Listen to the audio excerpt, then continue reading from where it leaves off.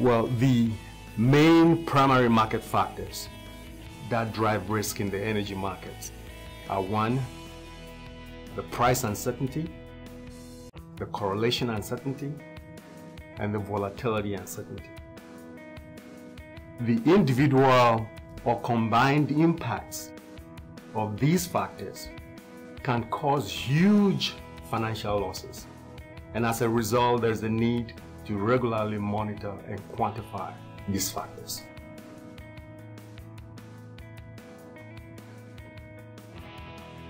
With enterprise-wide risk, it is an umbrella risk that captures all the risk factors that impacts a company's financial bottom line.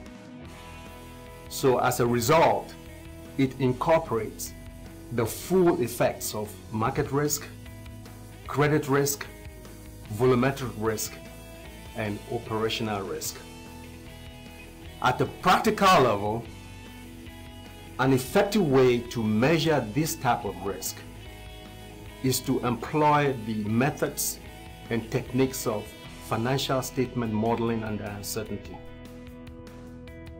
so that you can apply Monte Carlo simulation programs to estimate probability distributions on the financial performance measures for the companies.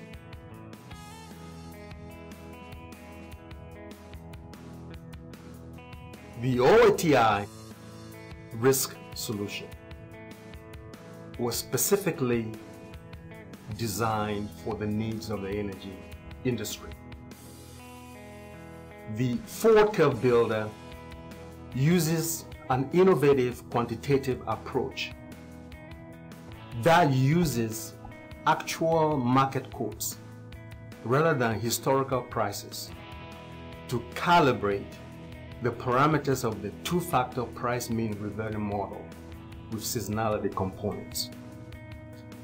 Another cool and distinguishing feature of the risk solution is that it allows at-risk financial measures to be determined for RTO and ISO market participants by applying stochastics to RTO market variables.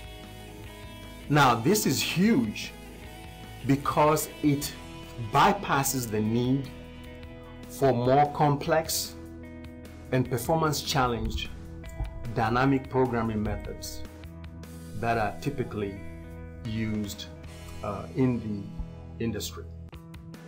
And lastly, the OATI risk solution provides the capability for stress testing the credit exposures.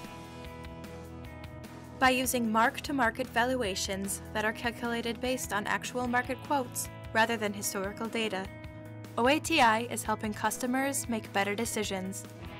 Learn more at oati.com forward slash risk management.